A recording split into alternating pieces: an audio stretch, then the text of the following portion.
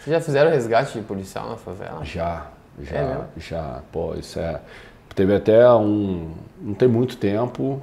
Cara, foi, foi assim, é uma coisa marcante. Isso é, isso é, é uma coisa legal que eu falei, é o nosso serviço, mas é uma coisa marcante, porque agora você me fez lembrar do olhar do, do, do, do- colega, assim, que já já estava entregue, assim, ele já estava, e ele mesmo falou assim, cara, pra mim eu já estava morto. Entendeu? E assim foi a, Como é que foi essa situação? então, a gente tava de plantão e de repente chegou, começaram a perguntar se algum policial da Core tinha um carro tal. E a gente, pô, por quem pode ter? Ah, fulano pode ter, tenta contato com ele. tenta- Parece que pegaram um policial com um carro tal e tá dentro da, de, uma, de uma comunidade. Pô, meu irmão, não consegue contato, não consegue. Cara, tem autorização pra gente ir pra lá, independente disso, a gente não pode perder tempo. Vamos. Pá, chegamos no local. Começamos a bater, pá, e daqui a pouco veio a notícia, ó, não é um policial nosso, vamos- da Core, é um policial, é um policial militar. A gente, pô, mas é um policial, meu irmão, bora, continua. Pô, e aí começamos a bater, aí o Águia vindo dando apoio. E aí os caras já tinham botado ele num- na mala de um carro, e já tinha sido dado ordem para queimar ele. E aí esse carro meio que se destacou, o Águia localizou. Aí o Águia já veio em cima do carro já. E aí os caras se ligaram no Águia, abandonaram o carro, abriram as portas, abandonaram o carro, saíram, o Águia deu, a gente foi por, por terra, o Águia pousou, o cara tava na mala do carro. Já tinha apanhado pra caramba, não sei o que, a gente conseguiu resgatar ele. Tava no porta-mala, já Tava tava dentro da comunidade ou tava entrando na comunidade? Isso tudo era dentro da comunidade. Tudo dentro da comunidade, É, ele Entendi. tava- estavam levando ele pra um lugar pra tocar fogo, pra matar e tocar fogo. Ele tava no porta-mala amarrado, algemado? Tava... Eu não sei se tava. Tava no porta-malas, já tinha apanhado pra caramba, já tava ferrado. E aí, pô, E foi. ele falou assim- o que pra vocês? Cara, ele, cara, ele tava.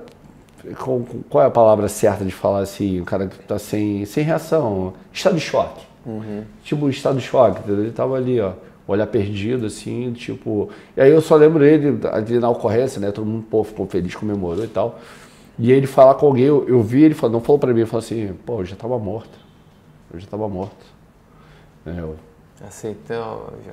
tinha é, porque eu já não tinha, sei lá, a gente tinha apanhado tanto, não tinha força, não tinha mais nada. E aí não conseguia jogar ele, sei lá o que, que iam fazer mais, né? Atirar, depois tocar fogo, tocar fogo, então, não sei. Enfim, mas É, sei tirar se- ele ali de, pô, foi muito gratificante também. Imagina o olhar do cara, tu olha assim, meu Deus, é... Se bota, é, é, sempre eu falo o seguinte, se bota no lugar do cara, assim, É? né? Você tem que sempre, eu penso sempre assim, cara, se bota no lugar, cara.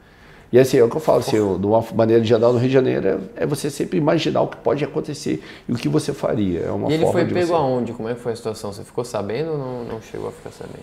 Não fiquei sabendo direito, não, não sei se ele... Cara, no Rio de Janeiro, infelizmente, né? Você olha para todo quanto é lado, é a comunidade de todo quanto é lado. E, e essas coisas aqui ficam meio mutantes. É, tem três facções, tem não sei quantas milícias. Aí uma hora a milícia toma do, do traficante, vira milícia, aí o do traficante toma do outro e vira...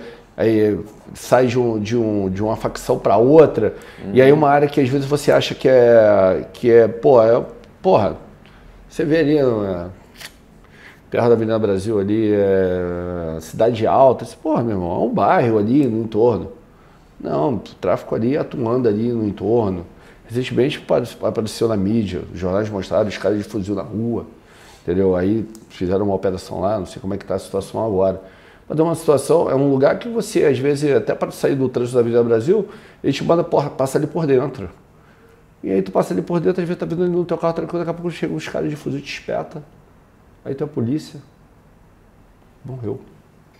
Já era. Já era. É fácil. É muito complicado aqui.